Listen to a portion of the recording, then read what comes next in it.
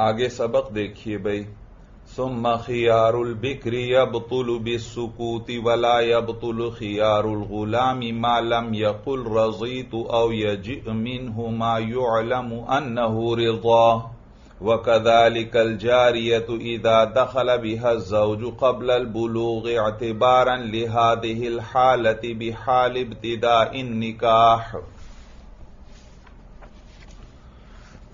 गुजश्ता सबक में साहिब हिदाया ने विलायत इल्ज़ाम के बारे में बयान फरमाया था कि बाप और दादा इनको विलायत इल्ज़ाम हासिल है, लिहाजा ये सगीर या सगीरा का निकाह करवा दें तो फिर वो निकाह लाजिम हो गया। अब वो बालिग होने के बाद भी उसको फसख नहीं कर सकते, जबकि बाप और दादा के अलावा और अवलिया जो हैं, अगर वो निकाह करवाएँगे तो फिर सगीर और सगीरा को खियार बुलूग मिलेगा। यानी बालिग होने के बाद इनको इख्तियार होगा कि वो चाहें तो उस निकाह को फसख कर दें भाई। और मैंने ये भी बतलाया था कि बाप और दादा वो चाहे अपने बराबर के लोगों में रिश्ता करवाएँ, सगीर या सगीरा का, या अपने से कमतर लोगों में करवाएँ। और चाहे सगीरा का जितना महर होना चाहिए था, उतना ही महर में निकाह करवाएँ या उससे बहुत कम महर के अंदर निकाह करवाएँ। और इसी तरह सगीर का बाप और दादा ने निकाह करवाया और महर जो है, उसकी बीवी का महर बहुत ज़्यादा मुकर्र कर दिया तो भी ये निकाह मुनाकिद हो जाएगा और सगीर और सगीरा को बालिग होने के बाद कोई इख्तियार नहीं। जबकि इसके मुकाबले में दीगर अवलिया अगर निकाह करवाएँगे तो एक तो खियार बुलूग मिलेगा इस सगीर और सगीरा को बालिग होने पर। और नीस, अगर ये जो दीगर अवलिया हैं, इन्होंने अपने हम पल्ला लोगों में निकाह नहीं करवाया, बल्कि अपने से कमतर लोगों में निकाह करवाया है, या सगीरा का महर बहुत कम मुकर्र किया, या सगीर की बीवी का महर बहुत ज़्यादा मुकर्र कर दिया तो इन तमाम सूरतों में वो निकाह ही मुनाकिद नहीं होगा। बात समझ में आ गई। तो बाप और दादा के अलावा कोई और निकाह करवाएगा तो सगीर या सगीरा को खियार बुलूग हासिल होगा। लेकिन इमाम अबू यूसुफ रहमहुल्लाह फरमाते हैं कि नहीं, चाहे सगीर या सगीरा का निकाह बाप या दादा करवाएँ या कोई और वली, इनको कोई खियार नहीं मिलेगा। वो खियार बुलूग के कायल नहीं है भाई। जबकि तरफेन कायल हैं खयार बुलूग के, वो फरमाते हैं कि बाप और दादा की शफकत तो कामिल है, लेकिन इनके अलावा बाकी जो आसबात हैं, उनकी शफकत कामिल नहीं।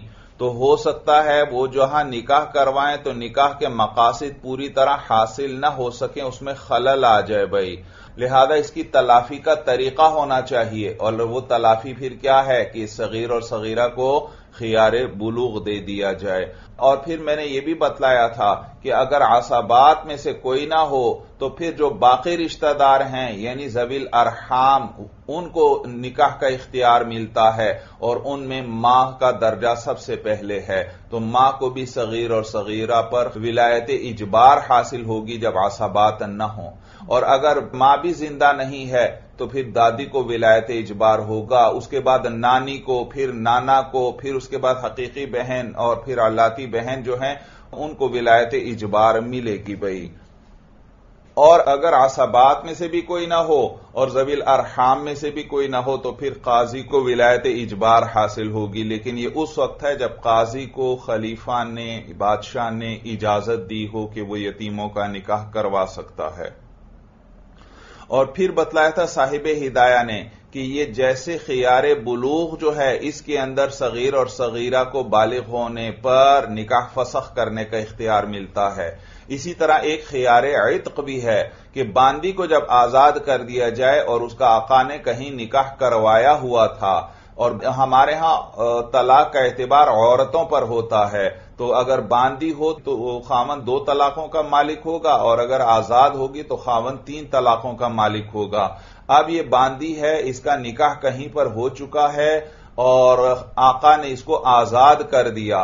तो अब इसकी तलाकें दो से बढ़कर तीन हो जाएँगी। लिहाजा चूँकि इसके ऊपर मिल्कियत खाबंद की बढ़ रही है, इसको नुकसान हो रहा है, लिहाजा शरीयत ने इसको खियार इतक दिया है कि जिस मजलिस में आका इसको आज़ाद करे, उसी मजलिस के अंदर यह अपने इस निकाह को फसख कर सकती है। तो ख्यार बुलूग में भी फसख निकाह का इख्तियार होता है और ख्यार इतक में भी फसख निकाह का इख्तियार होता है, लेकिन दोनों में फ़र्क है। खियार बुलूग के अंदर जो फसख निकाह है, उसको इल्ज़ाम अल गैर शुमार किया जाता है, लिहाजा वहाँ कजाए काजी ज़रूरी है। और खियार इतक के अंदर जो फसख निकाह है, उसको दफ़ जरर शुमार किया जाता है। लिहाजा वहाँ कजा काजी की ज़रूरत नहीं, क्योंकि अपने आप से नुकसान को दूर करना यह हर इंसान का इख्तियार है। इसमें किसी काजी के पास जाने की ज़रूरत नहीं है। मैंने बताया था दोनों के अंदर दोनों पहलू हैं।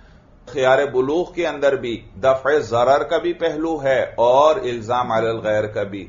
और इसी तरह खयार इत के अंदर भी, दफ़ जरर वाला पहलू भी है और इल्ज़ाम गैर वाला पहलू भी है। वजह यह कि जब निकाह को फसख किया जाएगा तो यह फसख सिर्फ़ इस फसख करने वाले पर नाफिज नहीं होगा, बल्कि वो जो दूसरा है, यानी अगर सगीरा है तो इसका जो खाबंद है उस पर भी नाफिज हो जाएगा। यह सगीर जो है, अगर वो फसख कर रहा है बालिग होने पर तो उसकी जो बीवी है उस पर भी फसख नाफिज होगा। तो लिहाजा इसके अंदर इल्ज़ाम अलल गैर भी है। लेकिन खियार बुलूख को हमने इल्ज़ाम अलल गैर शुमार किया। वजह यह कि खियार बुलूख के अंदर जो दफ़ जरर हो रहा है, वो जरर खफी है, वो जरर ज़ाहिर नहीं। एहतमाल है, हो सकता है अच्छी जगह रिश्ता न करवाया हो। तो वहाँ दफ़ जरर खफी है। लिहाजा उसका हमने एतबार नहीं किया। अलबत्ता इल्ज़ाम अलल गैर तो ज़ाहिर है तो उसका हमने एतबार कर लिया। और जबकि बांदी जो खियार इतक इस्तेमाल कर रही है, वहाँ पर वो जाहिरी नुकसान को अपने आप से दूर कर रही है। वहाँ तो यकीनी नुकसान आ रहा है कि उसकी तलाकें दो से बढ़कर तीन हो रही हैं। तो लिहाजा वहाँ हमने दफ़ जरर का एतबार किया और इल्ज़ाम अलल गैर का एतबार नहीं किया भाई, क्योंकि अगर हम दफ़ जरर का एतबार नहीं करेंगे तो इसको तो नुकसान लाजिम हो जाएगा भाई। इसकी तलाकें दो से बढ़कर तीन हो जाएँगी भाई। और फिर उसके बाद यह भी बतलाया साहिब हिदाया ने आपको कि सगीर या सगीरा अगर बालिग हुए और उनको निकाह का इलम ही नहीं था कि उनका निकाह करवाया हुआ है उनके वली ने तो फिर जब इलम होगा तो इनको खियार बुलूग मिल जाएगा। लिहाजा मालूम हुआ निकाह से ला इलमी उजर है। लेकिन अगर इनको ये ही पता नहीं है कि शरीयत ने उनको खियार बुलूग दिया हुआ है तो फिर ये खियार बुलूग से ला इलमी ये उजर नहीं है। ये उजर नहीं है। वजह यह कि यह सगीर और सगीरा ये तो आज़ाद हैं भाई, और इनके पास तहसील इलम के मौाक़े मौजूद हैं।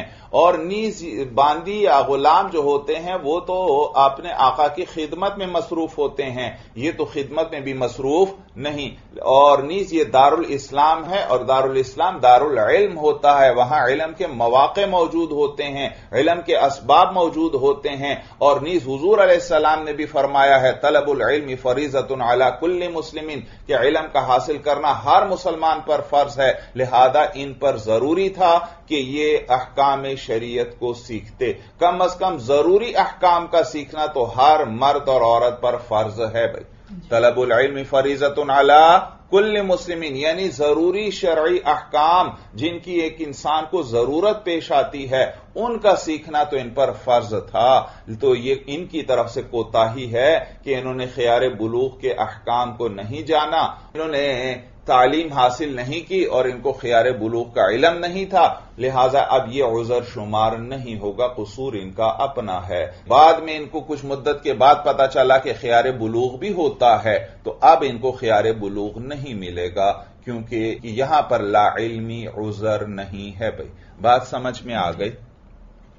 जबकि इसके मुकाबले में बांदी अगर खियार इतक से ला इलम है तो वो उजर है भाई, वो उजर है। वजह यह कि बांदी जो है, वो तो अपने आका की खिदमत में मसरूफ रहती है। उसके पास तो तालीम हासिल करने का मौका नहीं होता। लिहाजा बांदी की ला इलमी उजर है खियार इतक से। जबकि सगीर और सगीरा की ला इलमी खियार बुलूक से यह उजर नहीं है भाई। यहाँ एक इश्काल होता है। इश्काल यह होता है कि सगीर या सगीरा यानी नाबालिग जो बच्चे होते हैं वो तो मुकल्लफ नहीं। उन पर तो शरिया अहकाम लागू नहीं होते लेकिन आपकी तकरीर से यह लाजिम आया कि मालूम हुआ सगीर या सगीरा पर भी तालीम वाजिब थी। ज़रूरी शर्य अहकाम को सीखना इन पर वाजिब था। ये तो आपने बच्चों को भी मुकल्लफ बना दिया। हालाँकि बच्चे तो मुकल्लफ नहीं होते। तो जवाब याद रखना, उलमा फरमाते हैं कि जब सगीर या सगीरा बुलोगत के करीब पहुँच जाएँ तो अब इन पर ज़रूरी शर्य मसाइल का सीखना वाजिब हो जाता है। या इनका जो वली है, उस पर वाजिब हो जाता है कि इनको तालीम दे, ज़रूरी मसाइल की भाई। चुनाचे। इसीलिए हदीस में आता है कि सात साल की उम्र में बच्चों को नमाज़ का हुक्म दो और दस साल की उम्र में उनकी पिटाई करो। यानी अगर नमाज़ न पढ़े तो पिटाई करो। तो देखो, नमाज़ का हुक्म देने का कहा गया और नमाज़ के छोड़ने पर पिटाई करने का हुक्म दिया गया। तो मालूम हुआ इन पर यह नमाज़ और दीगर ज़रूरी मसाइल का सीखना लाजिम हो जाता है, बालिग होने से पहले ही। भाई, बात समझ में आ गई? अब आइए आज के सबक पर। कहते हैं सुम खियारुल बिक्री अब तुलु बिसुकूती वला अब तुलु खियारुल गुलामी मालम यकुल रज़ी तो अवयज मिन हुमा युलम अन्नहु रिजन वकदाली कल जारियत इदा दखल बिहा जौज कबल बुलूग भाई वही खियार बुलूग के अहकाम की तफसील बयान फरमा रहे हैं साहिब हिदाया याद रखो, ये जिनको खियार बुलूग मिलता है, ये तीन किस्म के अफराद हो सकते हैं। या जिसका निकाह करवाया गया है, वो सगीर था, यानी लड़का था, अब अब बालिग हुआ। या वो सगीरा थी, अब बालिगा हुई। लेकिन सगीरा में तो दो सूरतें मुमकिन हैं। या वो सगीरा बाकेरा होगी, या वो सगीरा सैयबा होगी। यानी खावंद इसके साथ बालिग होने से पहले ही सोहबत कर चुका है। तो गोया तीन किस्म के अफराद हो गए जिनको खियार बुलूग मिलता है। एक बाकेरा है, एक सैयबा है और एक लड़का है भाई। तो ये तीन किस्म के अफराद हैं जिनको खियार बुलूग मिल सकता है। यानी सगीर और सगीर सैयबा और सगीर बाकेरा। इन तीनों के इब्तदाई निकाह के अंदर इनकी हालत देख लो। जो वहाँ इनका हुक्म था, यहाँ पर भी उनका वही हुक्म होगा। यानी इनका खियार बुलूग कब तक रहेगा और कब इनका खियार बुलूग जो है वो बातिल हो जाएगा तो इनकी इब्तदाई निकाह की हालत देख लीजिए।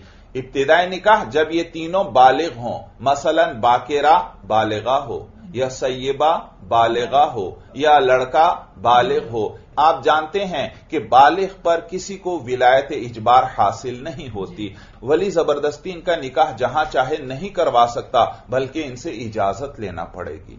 अब इनसे इजाज़त का क्या तरीका है? आपको साहिब हिदाया ने बतलाया था कि अगर वो बालिगा जो है वो बाकेरा है तो उसकी खामोशी भी रजामंदी की अलामत है।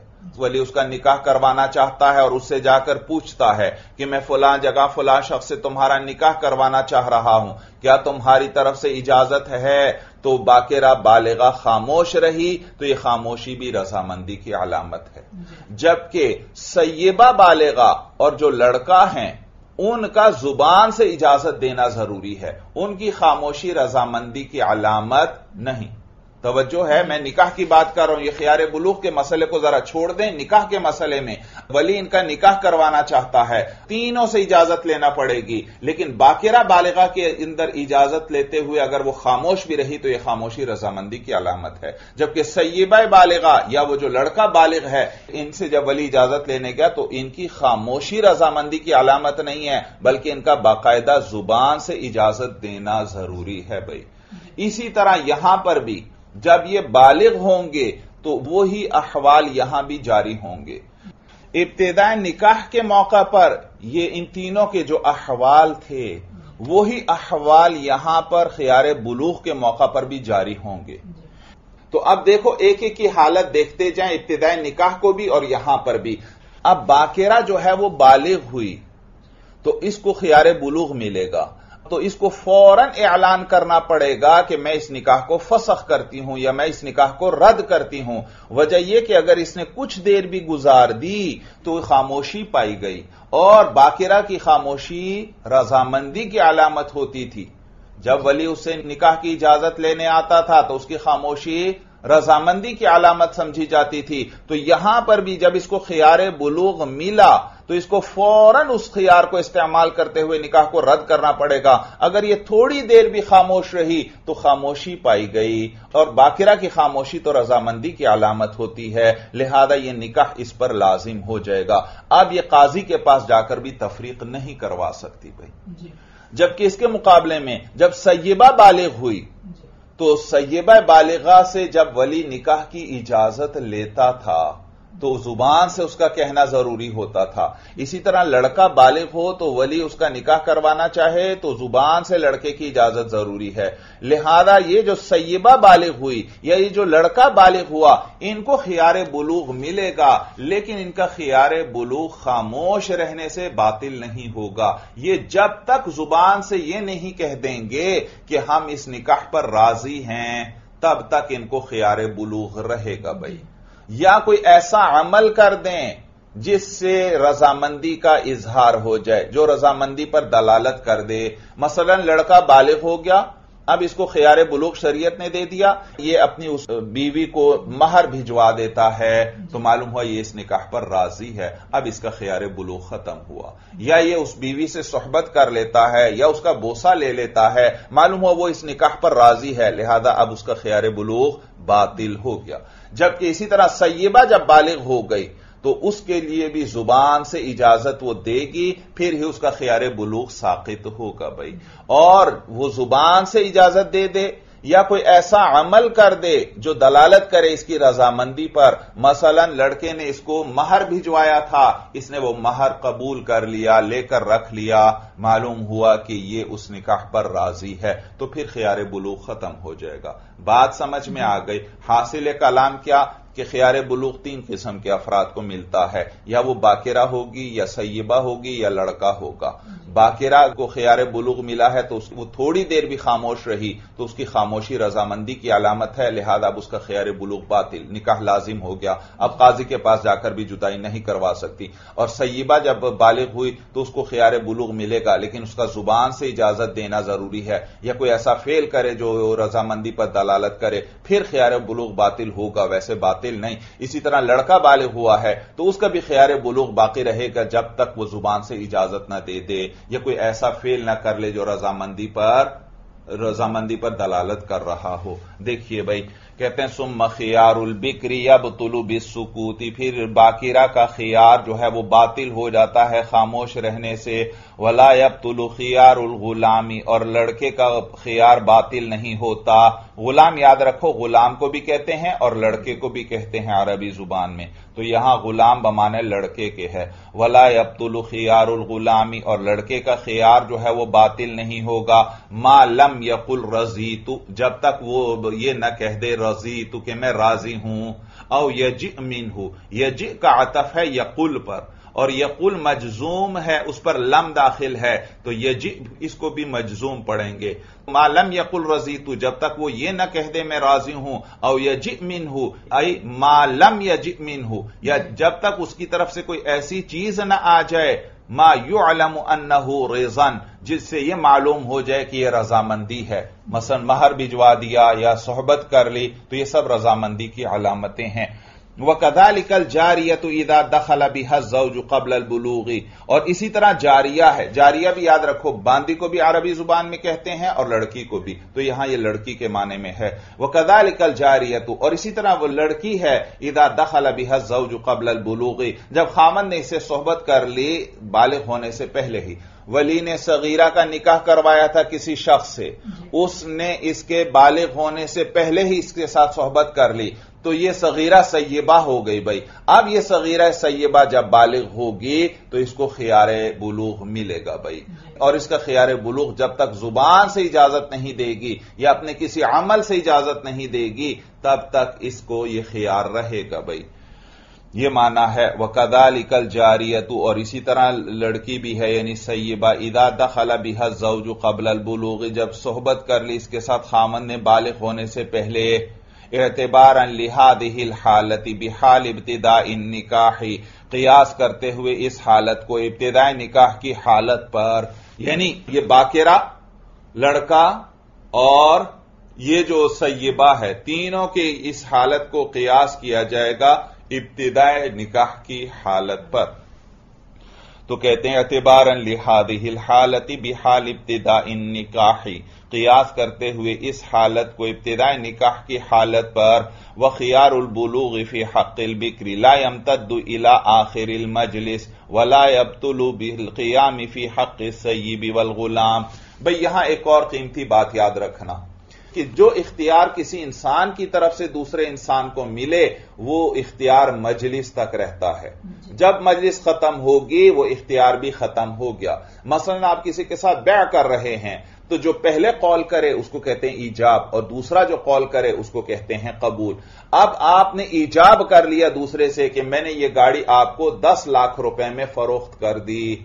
तो अब उस दूसरे को कबूल का इख्तियार मिल गया। वो चाहे कबूल करे, चाहे कबूल न करे। और याद रखो, ये इख्तियार उसको ईजाब करने वाले ने दिया है। लिहाजा ये इख्तियार मजलिस तक रहेगा। जब तक ये मजलिस है, वो कबूल कर सकता है। अगर मजलिस बदल गई तो फिर इस सूरत में उसका ये खियार कबूल बातिल हो जाएगा। बाद में यह आकर कहता है कि मुझे ब्या कबूल है। नहीं भाई, अब ब्या नहीं हो सकती। कबूल करना था तो उसी मजलिस में करना था भाई।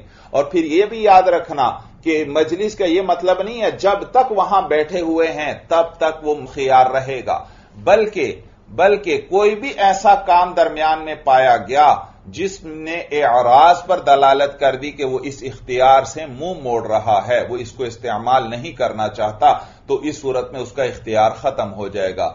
मसलन मसलन आपने दूसरे के साथ ईजाब किया कि मैंने दस लाख रुपए में ये गाड़ी आपके हाथ फरोख्त कर दी और उसने और मौजूद पर गुफ्तगु शुरू कर दी। इधर उधर की बातें करने लग पड़ा। मालूम हुआ वो कबूल नहीं करना चाहता। ये उसका इधर उधर की बातें करना, ये एराज पर दलालत कर रहा है। या वो खड़ा हो गया?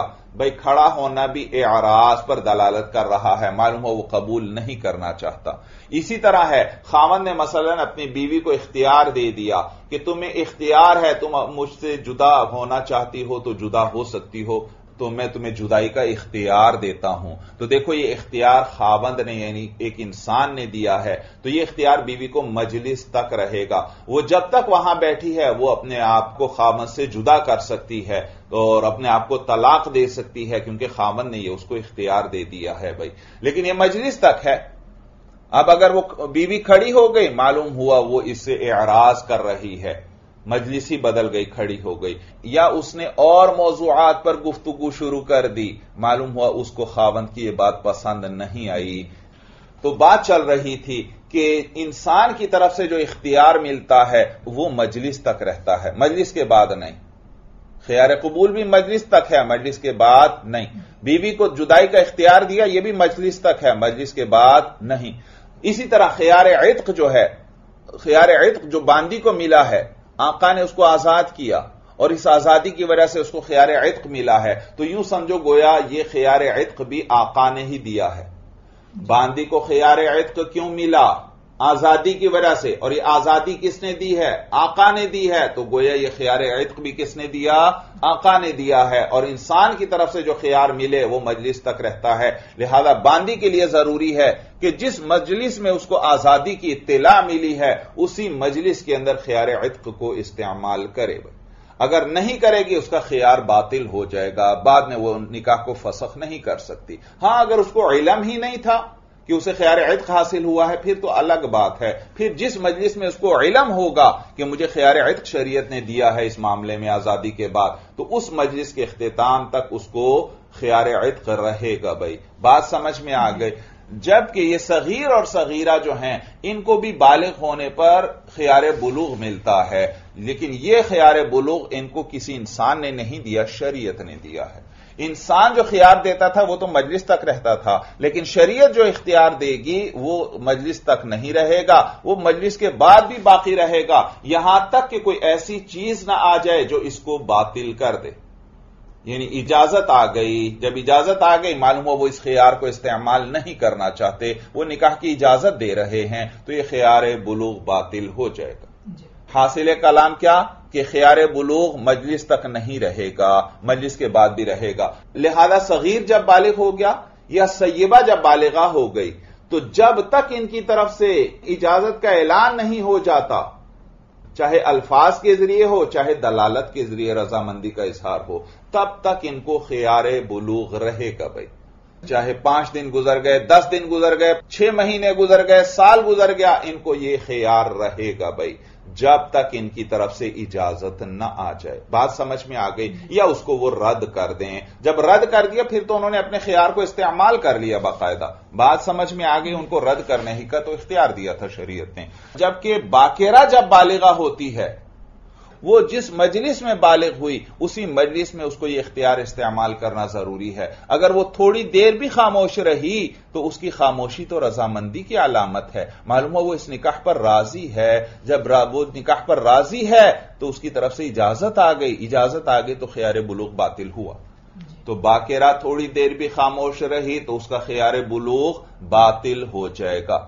इस पर इश्काल फिर होता है कि आपने हमें कहा जो इख्तियार शरीयत की तरफ़ से मिलता है, वो मजलिस तक नहीं रहेगा, वो मजलिस के बाद भी बाकी रहेगा।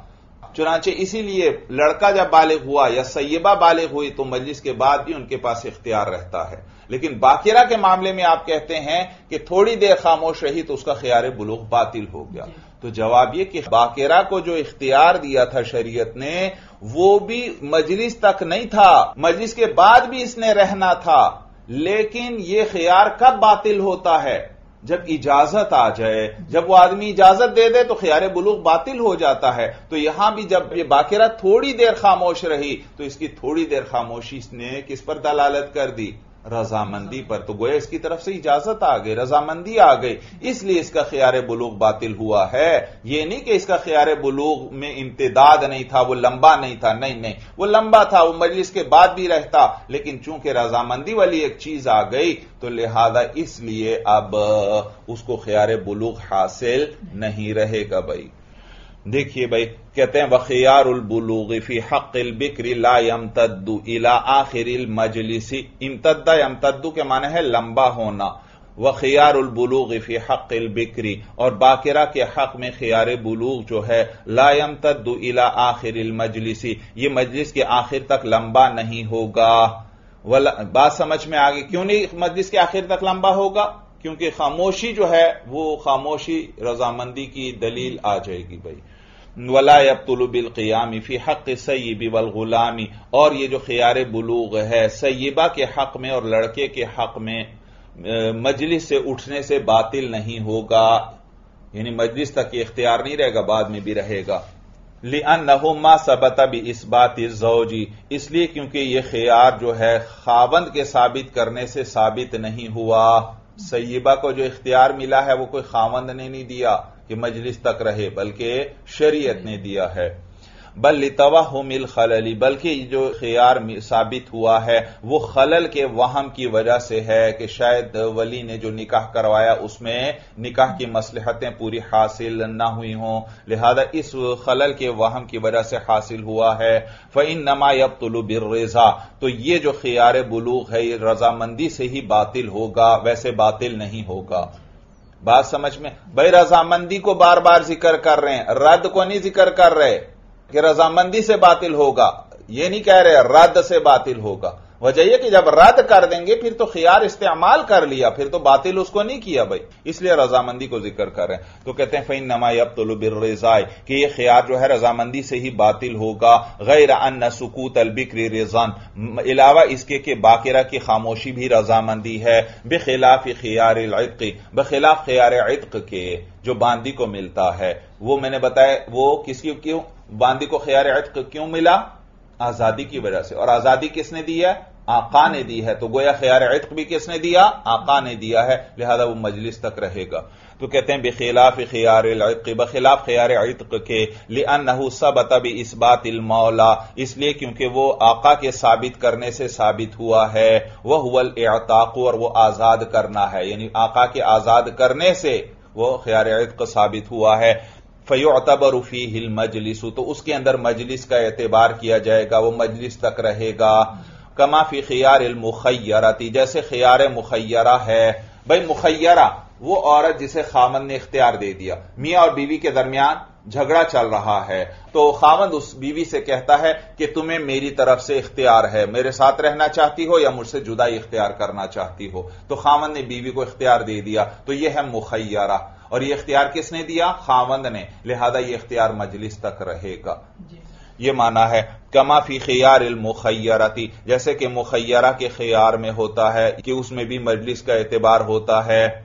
सुम मलफुर खतुब खियार बुलूग सद भी तलाकिन। यहाँ से साहिब हिदाया ये बतलाएँगे कि ये जो खियार बुलूग या खियार इतक की वजह से जुदाई आई है निकाह फसक हुआ है ये तलाक नहीं है। खियार बुलूग या खियार इतक इस्तेमाल करते हुए निकाह को फसख कर दिया गया तो यह तलाक के हुक्म में नहीं। वजह यह कि खियार बुलूग लड़की को भी मिला था। और लड़की तो तलाक की मालिक नहीं होती वो भी निकाह फसख कर सकती है लेकिन लेकिन उस वो तो तलाक की मालिक नहीं लिहाजा ये फसखे निकाह शुमार होगा तलाक शुमार नहीं। इसी तरह बांदी को खियार इतक मिला वो निकाह फसख कर रही है तो ये तलाक नहीं शुमार होगी क्योंकि ये मुअन्नस है और मुअन्नस तो तलाक की मालिक नहीं होती खावन तलाक का मालिक होता है लिहाजा इसको फसखे निकाह शुमार करेंगे। तलाक शुमार नहीं। करेंगे। तो कहते हैं सुम मलफुर कतुबी खियार बुलूग सद भी तलाकिन। फिर वो जुदाई जो खियार बुलूक की वजह से आई है वो तलाक नहीं है। ले अनहा तस्मिनल उनसा इसलिए क्योंकि जुदाई औरत की यानी मुअन्नस की तरफ़ से भी सही है। वला तलाक इलेहा हालाँकि तलाक तो मुअन्नस के सुपुर्द नहीं है। तलाक का मालिक तो मर्द होता है खावंद होता है। व कदा बिखियार किलिमा बैन्ना और इसी तरह खियार इत की वजह से भी यानी ये जुदाई तलाक नहीं है लिमा बैन्ना उस वजह से जो हमने बयान कर दी कि तलाक औरत की तरफ़ से नहीं हो सकती। बेखिलाफ मुखैरती हाँ मुखैरा वो औरत जिसको खामन ने इख्तियार दिया था कि अगर मुझसे जुदाई इख्तियार करना चाहती है तो इख्तियार कर लो।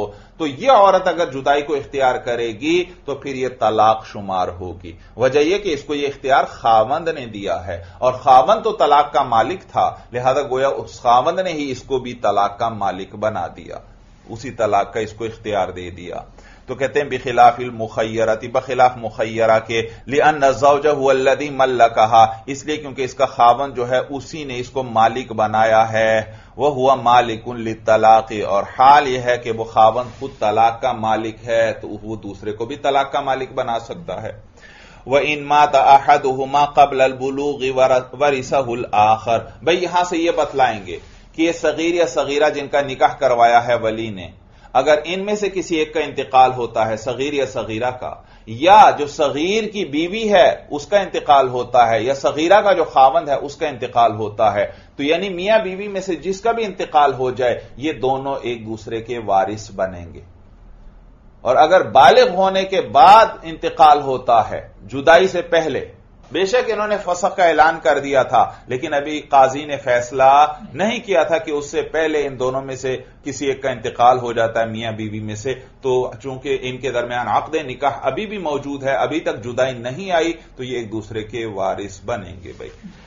तो कहते हैं, वह इन माता आहदुमा कबल बुलूग वरिसहुल आखरु। अगर इन दोनों में से कोई एक मर गया बालिग होने से पहले तो वरिसहुल आखरु तो दूसरा उसका वारिस बनेगा।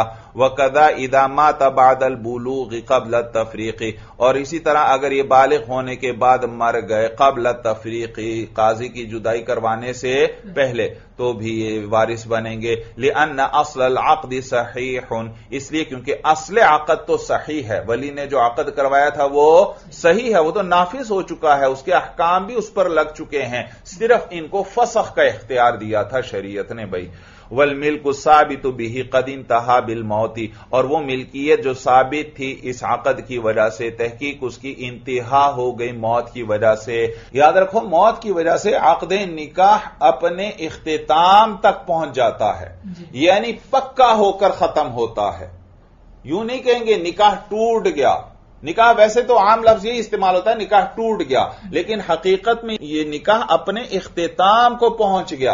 अपने इख्तिताम तक पहुंचकर पक्का होकर खत्म हुआ।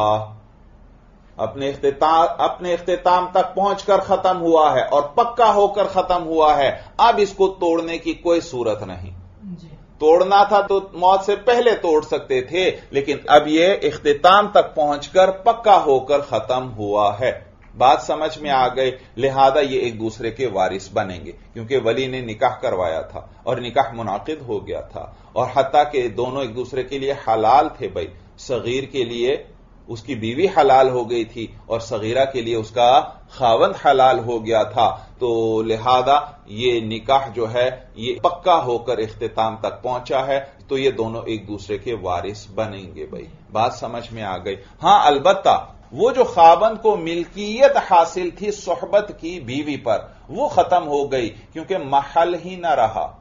वो सगीरा का इंतकाल हो गया तो वो महल ही सोहबत वाला ना रहा तो वो मिल्कियत जो है, वो खत्म हो गई। लेकिन बहरहाल निकाह जो है, वो अपने इख्तिताम को पहुँचा है, पक्का होकर तो ये एक दूसरे के वारिस बनेंगे। बात समझ में आ गई? देखिए भाई, कहते हैं अन्ना असल अकदी सही इसलिए क्योंकि असल अकद सही है। वल मिल्क साबित बिही कदिन तहा बिल मौती और वो मिल्कियत जो इसकी वजह से साबित थी, यानी वो जो खावंद के लिए सोहबत जायज़ थी, वो कद इंतहा, वो इंतहा तक पहुँच गई बिल मौती किसकी वजह से? मौत की वजह से, यानी अब चूँकि वो महल ही ना रहा, बीवी ज़िंदा ही ना रही तो इसलिए सोहबत की भी सूरत न रही भाई तो वो मिल्कियत जो साबित थी इस निकाह की वजह से, यानी सोहबत करने वाली मिल्कियत कदीन तहा बिल मौती, तहकीक व मौत की वजह से अपने अख्ताम को पहुँच गई। बेखिलाफी मुबाशरतिल फजूली बखिलाफ फजूली के निकाह के, फजूली मैंने बतलाया था कि गैर मुतल आदमी, कि एक शख्स किसी का निकाह करवा देता है, उसकी इजाज़त के बगैर ही तो यह शख्स जो है फजूली कहलाएगा। यानी ये ना निकाह के अंदर असील है और ना वकील है। अपनी मर्ज़ी से खुद ही किसी दूसरे का निकाह पढ़ा रहा है। और मैंने बताया था, फजूली जो आकद करता है, वो मौकूफ रहता है उस शख्स की इजाज़त पर, जिसकी तरफ़ से आकद कर रहा है। अगर वो इजाज़त देगा तो वो आकद नाफिज हो जाएगा। और अगर वो इजाज़त नहीं देगा तो वो आकद बातिल हो जाएगा। अब सूरत ये, एक फजूली ने किसी शख्स का निकाह करवा दिया। तो अब देखो वह निकाह मौकूफ है मौकूफ है। तो अभी उसने आकर इजाज़त नहीं ली थी कि उससे पहले ही वो जिनके दरमियान आकद करवाया था, उन दोनों में से एक का इंतकाल हो गया। वो मर्द या औरत जिनके दरमियान फजूली ने निकाह करवाया था, उनसे अभी इजाज़त नहीं ली थी कि उनमें से एक का इंतकाल हो गया। तो यह निकाह तो मौकूफ था, अभी नाफिज ही नहीं हुआ था। तो लिहाजा मौत से यह निकाह बातिल हो जाएगा। और ये जिनका निकाह करवाया था फजूली ने ये एक दूसरे के वारिस नहीं बनेंगे क्योंकि निकाह नाफिज ही नहीं हुआ। जबकि वली ने जो निकाह करवाया था वो तो नाफिज हो गया था भाई। बात समझ में आ गई तो वहाँ वो वो वारिस बनेंगे। कहते हैं बेखिलाफी मुबाशरतिल फजूली ये मुबाशरत का माना है किसी काम को खुद सर अंजाम देना। बेखिलाफी मुबाशरतिल फजूली ये बखिलाफ फजूली के निकाह के सर अंजाम देने के। यानी वली ने जो निकाह सर अंजाम दिया था, वहाँ तो वारिस बनेंगे। बेखिलाफी मुबाशरतिल फजूली। फजूली ने जो निकाह सर अंजाम दिया है, उसके बरखिलाफ। यानी उसमें वो वारिस एक दूसरे के नहीं बनेंगे। इजा माता अहदुजैन कबल इजाजती। जब मियाँ बीवी में से कोई एक मर जाए, इजाज़त से पहले। लिया निकाह सम्मता मौकूफुन। इसलिए क्योंकि निकाह वहाँ पर मौकूफ है फयब तुलु बिल मौती तो मौत से बातिल हो जाएगा। ये सम्मा याद रखो ये इसमें इशारा है बईद के लिए। और ये बगैर गोलता के भी इस्तेमाल होता है और गोलता के साथ भी। सम्मा बगैर गोलता के। और गोलता के साथ भी। और इस सूरत में ता पर भी फतहा पढ़ेंगे। सम्माता। और वक्फ करेंगे तो सम्माह बई। गोलता वक्फ की सूरत में हा बन जाती है। लिअन्न निकाह सम्मता मौकूफुन फैब तुलुबिल मौती। इसलिए क्योंकि निकाह वहाँ पर मौकूफ है, यानी जो फजूली ने सर अंजाम दिया था, वहाँ निकाह मौकूफ है। फयब तुलु बिल मौती तो वो मौत की वजह से निकाह बातिल हो जाएगा, वो तो नाफिज ही नहीं हुआ तो लिहाजा एक दूसरे के वारिस नहीं बनेंगे। वहाँ होना नाफिजुन, और यहाँ पर जो वली ने निकाह करवाया था, सगीर और सगीरा का, वो तो नाफिज है। फता फतकर भी तो ये मौत की वजह से ये निकाह पक्का हो गया, यानी पक्का होकर इख्तिताम तक पहुँच गया तो ये एक दूसरे के वारिस बनेंगे भाई। आगे देखिए भाई, काला वला विलायत अली अब्दिन वला सगीर वला मजनून। भाई याद रखो, गुलाम, मजनून या नाबालिग, इनको अपने ऊपर भी विलायत हासिल नहीं होती।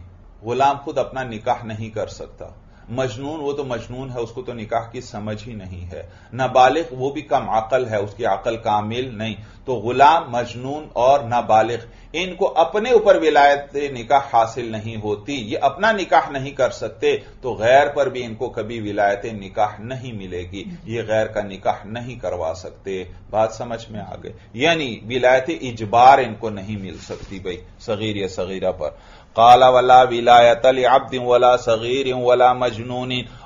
और कोई विलायत नहीं है गुलाम के लिए और न सगीर के लिए और न मजनून के लिए ला विलायत लहुम अला अनफुसहिम इसलिए क्योंकि इनको अपनी जात के ऊपर विलायत हासिल नहीं है फ़ौला अल्लाह यसबुताला गैरहिम तो ज़्यादा लायक है कि गैरों पर भी इनकी विलायत साबित न हो।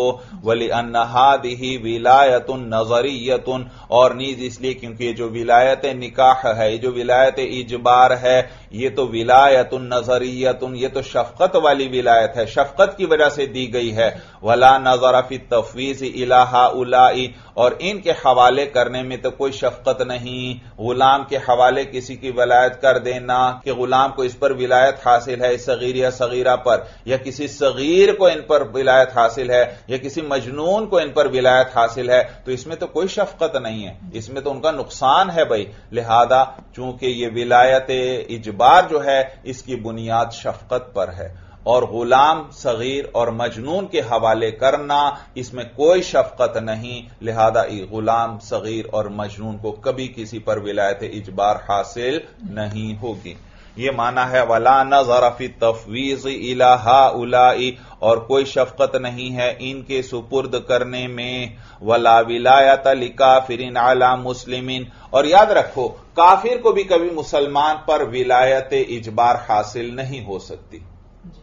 बात समझ में आ गई। लिहाजा बाप बेटा गैर मुस्लिम है लेकिन फिर बेटा मुसलमान हो गया। अभी बालिग भी नहीं हुआ वो मुसलमान हो गया। तो बाप को अब इस पर विलायत इजबार हासिल नहीं। बाप को इस पर विलायत इजबार हासिल नहीं, नहीं वो ज़बरदस्ती इसका निकाह नहीं करवा सकता। तो कहते हैं वला विलायत अली काफिर आला मुस्लिमिन और कोई विलायत नहीं है काफिर की आला मुस्लिमिन। किसी मुसलमान पर लिकौल ही ताला अल्लाह ताला के इस कौल की वजह से वलैकाफरीन अलमिन सबीला और हरगिज अल्लाह नहीं बनाएँगे काफिरों के लिए मोमिनों पर सबीला कोई रास्ता। अल्लाह हरगिज काफिरों के लिए मोमिनों पर रास्ता नहीं बनाएँगे यानी अल्लाह कभी भी मोमिनों पर काफिरों को विलायत नहीं देंगे। मालूम हुआ ममलिकत इस्लामिया के अंदर कभी भी काफिर को मोमिन पर विलायत नहीं दी जा सकती। आगे देखिए, कहते हैं, वलिहादा ला तुकबलु शहादतु अलैहि, और इसीलिए काफिर की गवाही कबूल नहीं की जाती। अलैहि, मुसलमान के खिलाफ क्योंकि शहादत में भी गैर पर आपका कौल नाफिज हो जाता, जब आप किसी के खिलाफ गवाही देते हैं तो आपका कौल उस पर नाफिज हो जाता है। लिहाजा काफिर को मुसलमान के खिलाफ गवाही की इजाज़त नहीं दी जाएगी, वरना तो काफिर का कौल मुसलमान पर नाफिज करना पड़ेगा। वो आपने काफिर को मुसलमान पर विलायत दे दी भाई।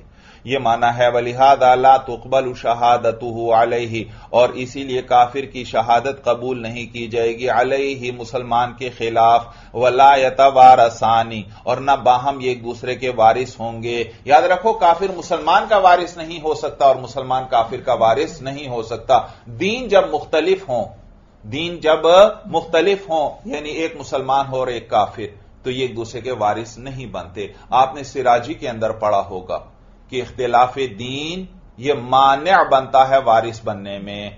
लेकिन याद रखो, ये इख्तिलाफ दीन सिर्फ़ मोमिन और काफिर के दरमियान है। मोमिन काफिर का वारिस नहीं बन सकता और काफिर मोमिन का वारिस नहीं बन सकता। लेकिन अगर दोनों काफिर हैं, चाहे फिर दोनों का दीन अलग अलग ही क्यों ना हो, एक ईसाई है और एक यहूदी है तो फिर ये एक दूसरे के वारिस बनेंगे। इसको इख्तिलाफ दीन नहीं कहेंगे। वजह यह कि हजूर सल्लल्लाहु अलैहि वसल्लम फरमाते हैं अल कुफर मिल्लतुं वाहिदा कि कुफर सारा का सारा एक ही दीन है भाई।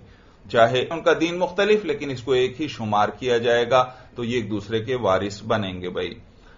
मालूम मोमिन काफिर का वारिस नहीं हो सकता। और काफिर मोमिन का वारिस नहीं हो सकता। लिहाजा शरीयत ने इजाज़त दी है, कोई मुसलमान जो है, यहूदी या ईसाई औरत से निकाह कर सकता है। तो ये मियाँ बीवी तो होंगे, लेकिन एक दूसरे के वारिस नहीं बनेंगे। बीवी का इंतकाल हुआ तो खावंद उसका वारिस नहीं बनेगा। और खावंद का इंतकाल हुआ तो बीवी वारिस नहीं बनेगी, क्योंकि दीन मुख्तलिफ़ हैं भाई। ये माना है वलायत बारसानी और ये बाहम एक दूसरे के वारिस नहीं होंगे यानी मुसलमान और काफिर। अमल काफिर फयसबुत लहू विलायतुल इनकाह अला वलदिहिल काफिर। हाँ काफिर आदमी को अपने काफिर बेटे पर विलायत इनका हासिल है। क्योंकि यहाँ दोनों क्या हैं? काफिर हैं तो उसको विलायत इनका हासिल होगी। ये माना है अमल काफिरु, बाकी काफिर जो है फयस बुतुलहू विलायतुल इनकाही, उसको विलायत इनकाह हासिल होगी, निकाह करवाने की विलायत, यानी विलायत इजबार हासिल होगी, अला वलदिहिल काफिरी, अपने काफिर बेटे पर, लिकौलिही ताला, अल्लाह ताला के इस कौल की वजह से, वल्लदीन का फरूबाजुहम अवलिया उबाज और वो लोग जिन्होंने कुफर किया, बाजुहम अवलिया उबाज उनमें से बाज मददगार हैं, बाज के वो एक दूसरे की मदद करते हैं। तो याद रखो, आवाम के सामने यूँ कभी तर्जमा नहीं करना कि वल्लदीन कफरू, और वो लोग जिन्होंने कुफर किया बाज हम अवलिया उबाज उनमें से बाज मददगार हैं बाज के। आवाम को यह तर्जमा समझ में नहीं आएगा, बल्कि यहाँ बा मुहावरा तर्जमा करो। वल्लदीन कफरू, और वो लोग जिन्होंने कुफर किया बाज हम अवलिया उबाज वो एक दूसरे के मददगार हैं। बामुहावरा तर्जमा क्या करना है? वो एक दूसरे के मददगार हैं।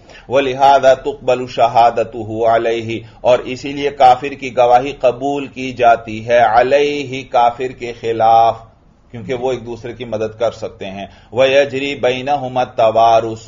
और नीज इनके दरमियान तवारुस भी जारी होता है। एक काफिर दूसरे काफिर का वारिस होता है।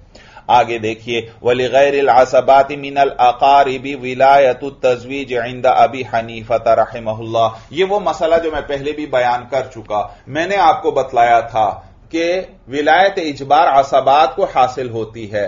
अगर आसबात न हो तो फिर जवील अरहाम को यह विलायत मिलेगी। और जवील अरहाम में सारी रिश्तेदार औरतें भी इसमें दाखिल हो गईं और वो मर्द भी दाखिल हो गए, जिनके साथ हम औरत के वास्ते से रिश्ता जुड़ रहा है।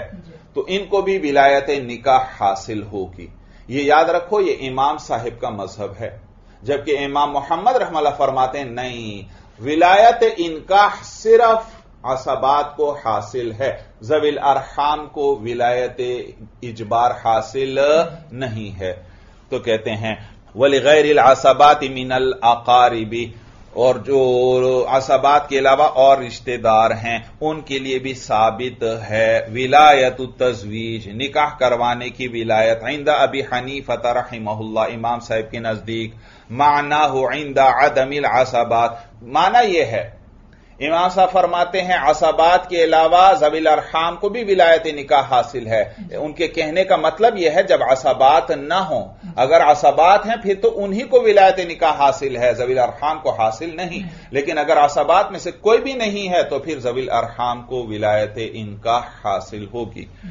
तो कहते हैं, माना हो आइंदा आदमिल असबात माना इसका यह है कि जब असबात न पाए जाएँ वहाद इस्तेहसान और ये इस्तेहसान है। यानी इस्तेहसान इमाम साहब ने इजाज़त दी है। वकाल मोहम्मद रहमल्ला और इमाम मोहम्मद रहमल्ला फरमाते हैं, ला तसबुतु, कि गैर आसाबात के लिए ये विलायत निकाह साबित नहीं। वह हुआ कियास, और ये ही कियास है। वह हुआ रिवायत अन अबी हनीफत रहमल्ला और यही एक रिवायत है इमाम साहिब से भी। यानी इमाम साहब से एक रिवायत इमाम मोहम्मद रहमल्ला के मज़हब के मुताबिक भी आई है कि असाबात के अलावा जवील अरहाम को विलायत इनकाह हासिल नहीं है भाई। वक़ौल अबी यूसुफ रहमफ़ी दालिका मुजतरिबुन। और इमाम अबू यूसुफ रमल्ला का कौल इस बारे में मुजतरिब है। उसमें इजतराब है, यानी पूरी तरह पता नहीं कि वो किसके साथ हैं। बाज मकाम से अंदाज़ा होता है कि वह इमाम साहिब के साथ हैं। और बाज मकाम से अंदाज़ा होता है कि वह इमाम मोहम्मद रहमल्ला के साथ हैं। तो कहते हैं वक़ौल अबी यूसुफ रहमफ़ी का मुस्तरिबुन और इमाम अबू यूसुफ रहमल्ला का कौल इस बारे में मुस्तरिब है। वल अशहर मोहम्मदिन रहमल्ला और ज़्यादा मशहूर यह है कि इमाम अबू यूसुफ, वो इमाम मोहम्मद रहमल्ला के साथ हैं भाई। लहुमा जी अब दलील आ गई साहिबैन की। इमाम यूसुफ के बारे में भी ज़्यादा मशहूर यही है कि वो इमाम मोहम्मद के साथ हैं। तो साहिबैन एक तरफ़ हो गए और इमाम साहिब एक तरफ़। लहुमा साहिबैन की दलील जो है, मा रवई ना वो हदीस है जो हमने रिवायत कर दी। भाई, ये गुजश्ता से पैबस्ता सबक में आया था। हदीस ज़िक्र की थी साहिब हिदाया ने अन निकाह इलल आसाबात कि निकाह जो है वो आसाबात के हवाले है। निकाह आसाबात के सुपुर्द है। और मैंने बताया बाज रिवायतों में आया है अल इनकाह इलल आसाबात के निकाह करवाना जो है वो आसाबात के सुपुर्द है। तो साहिबैन की यह दलील है। वो फरमाते हैं देखो इस हदीस में निकाह को सिर्फ़ आसाबात के हवाले करने का ज़िक्र है। यहाँ जबील अरहाम का ज़िक्र नहीं लिहाजा जबील अरहाम को यह इख्तियार नहीं मिलेगा।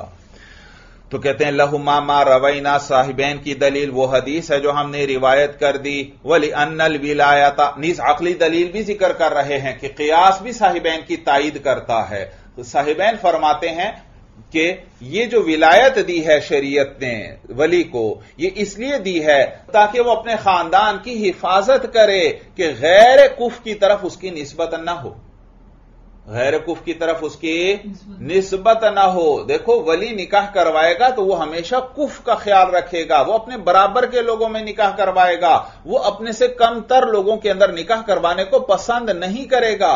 क्योंकि कल को लोग ताना देंगे कि तुम्हारी क्या हैसियत है? तुम लोगों की बेटियाँ तो छोटे छोटे खानदानों में उनकी शादी तुमने करवाई है। तो लिहाजा इसलिए वली जो है, वो गैर कुफ की तरफ़ निस्बत करने से अपने खानदान को बचाना चाहता है। और ये बचाएगा कौन? आसाबाद ही बचाएँगे। ज़ाहिर सी बात है ये उन्हीं के हवाले होगा भाई।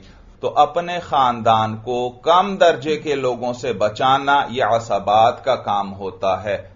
ये जवील अरहाम का काम नहीं। भाई वजह यह है कि जो आसाबाद जितने ज़िक्र हुए ये बाप की तरफ़ से रिश्तेदार हैं। ये किसकी तरफ़ से रिश्तेदार हैं। बाप की तरफ़ से। और नसब का एतबार बाप की तरफ़ से होता है। तो लड़की ये बाप के खानदान की शुमार होती है, माँ के खानदान की शुमार नहीं। तो जबील अरहाम, वो तो औरतें हैं या औरतों की तरफ़ से जो रिश्तेदार हैं, वो हैं। तो उनका तो खानदान अलग होगा और इनका खानदान अलग होगा तो और अपने खानदान की हिफाजत ये खुद आसाबाद करेंगे। ये जबील अरहाम का क्या काम है कि वो दूसरों के खानदान की गैर कुफ की तरफ़ नस्बत से हिफाजत करें। तो गैर कुफ से अपने खानदान की हिफाजत करना ये किसके जिम्मे होता है? आसाबाद के क्योंकि ये वो बाप के खानदान वाले हैं और ये अपने खानदान की हिफाजत के जिम्मेदार हैं। बात समझ में आ गई। तो कहते हैं वली अन विलायत इन नमा तस्बुतु सौ नन लिल कराबती। और कहते हैं, ये विलायत इसलिए साबित है सौ नन लिल कराबती, ताकि रिश्तेदारी को बचाया जाए, अन नस्बती गैर कुफ इलेहा। इस बात से कि गैर कुफ की नस्बत हो रिश्तेदारी की तरफ़, कि गैर कुफ आपके रिश्तेदार हैं। वह इलल आसाबात इस सियानतु, और यह बचाना आसाबात के हवाले है, उनके सुपुर्द है। वो अपने खानदान का ख्याल रखते हैं कि गैर कुफ की तरफ़ कहीं नस्बत न हो जाए भाई। बात समझ में आ गई। क्या दलील हुई साहिबैन की? साहिबैन की एक दलील तो वह हदीस है। अनिकाह इलल आसाबाती और दूसरी दलील जो है कयास है कि देखो, ये जो आसाबात को विलायत सिर्फ़ इसलिए दी गई है कि ये गैर कुफ की तरफ़ निस्बत करने से अपने खानदान की हिफाजत करें। और ये हिफाजत किसके सुपुर्द होगी? आसाबात ही के सुपुर्द है। जबील अरहाम के सुपुर्द नहीं है भाई। वली अबी हनीफत रहमहुल्ला और इमाम साहिब की दलील यह है कि अनल विलायत नजरियत उनकी ये जो विलायत निकाह दी गई है यानी विलायत इजबार नजरियत ये शफकत वाली है। ये क्यों दी गई है? शफकत की वजह से दी गई है। वन नजरू यतहक़ तफवीज़ी इला मन हुअल मुख्तसबिल कराबतिल बाइसती अल शफका। इमाम साहब फरमाते हैं कि भाई ये जो विलायत इजबार दी गई है इसकी बुनियाद शफकत पर है। और असाबात के अलावा और भी तो रिश्तेदार हैं। जब वो रिश्तेदार हैं तो रिश्तेदारी शफकत की तरफ़ बुलाती है। तो लिहाजा जब उनमें भी शफकत मौजूद है तो उनको भी विलायत इजबार मिलेगी। जैसे माँ है भाई असबात के बाद दर्जा माँ का है। अब देखो, माँ की तो सबसे ज़्यादा शफकत है। तो लिहाजा उसको भी विलायत इजबार मिलनी चाहिए। माँ है, बहने हैं, दादी है, नानी है, नाना है, जो इसके साथ औरत के ज़रिए रिश्ता है। ये सारे, ये भी तो सब शफकत करने वाले हैं। तो लिहाजा इनको भी विलायत इजबार मिलनी चाहिए। ये किसका मज़हब है? इमाम साहिब का। तो देखिए दोबारा, वो कहते हैं, वली अबी हनीफत रहमहुल्ला अनल विलायत नजरियतुन। इमाम साहिब की दलील यह है कि ये जो विलायत इजबार है, ये शफकत वाली है। वन नजरुयत हक बितफवीजी। और ये नज़र, ये शफकत पाई जाएगी बि तफवीज सुपुर्द करने से। इला मन हुअल मुख्तस बिल कराबती। सुपुर्द करने से उस शख्स के जो खास है कराबत के साथ इस विलायत की बुनियाद शफकत पर है। और जब हम ये विलायत उस शख्स को दे देंगे जो रिश्तेदार है तो भी शफकत पाई जा रही है, क्योंकि रिश्तेदारी भी किस तरफ़ दावत देती है? शफकत की तरफ़। तर्जमा देख लीजिए, यहाँ जरा तर्जमा मुश्किल है। वन न ज़रूरत हक और शफकत पाई जाएगी। बि तफवीज इला मन हुअल मुख्तस बिल कराबती सुपुर्द करने के उस शख्स के जो खास है रिश्तेदारी के साथ, कराबत के साथ अलबाइसती अल शफका। वो रिश्तेदारी जो उभारने वाली है शफकत पर। वो रिश्तेदारी जो शफकत पर उभारने वाली है, उस रिश्तेदारी के साथ जो भी शख्स खास है, जिसमें भी इस किस्म की रिश्तेदारी पाई जाती है, उसके सुपुर्द कर दिया जाए विलायत निकाह को तो इसमें भी शफकत ही शफकत है। बात समझ में आ गई। यहाँ एतराज़ होता है। एतराज़ ये कि साहिबैन ने तो दलील के तौर पर हदीस ज़िक्र की, और इमाम साहिब कयास पेश फरमा रहे हैं, अकली दलील है भाई। कि चूँकि बाकियों में भी शफकत होती है, लिहाजा बाकियों को भी विलायत मिलनी चाहिए। हालाँकि हदीस में क्या आया था? अन निकाह आसाबात, निकाह तो आसाबात के सुपुर्द है। तो ये तो इमाम साहेब हदीस के मुखालिफ जा रहे हैं। जवाब के नहीं, इमाम साहब हदीस के मुखालिफ नहीं जा रहे। हदीस के अंदर निकाह को आसाबात के सुपुर्द किया गया है। उस वक्त जब आसाबात मौजूद हों तो जब आसाबात मौजूद हो, उस वक्त तो इमाम साहब भी इसी के कायल हैं कि आसाबात ही को विलायत मिलेगी, जबिल अरहाम को नहीं मिलेगी। लेकिन अगर एक शख्स के आसाबात मौजूद ही नहीं है तो फिर उसके बारे में तो हदीस खामोश है, उसके बारे में तो हदीस में कोई ज़िक्र नहीं। हदीस में तो वो सूरत ज़िक्र है, जब आसाबात मौजूद हैं तो आसाबात ही के सुपुर्द होगा निकाह। लेकिन जब आसाबाद मौजूद नहीं, वो सूरत तो हदीस के अंदर ज़िक्र नहीं तो इमाम साहब तो वो सूरत ज़िक्र कर रहे हैं, जब आसाबाद कोई भी ना हो, और जवील अरहाम मौजूद हैं तो फिर जवील अरहाम को यह हक मिल जाएगा। बात समझ में आ गई।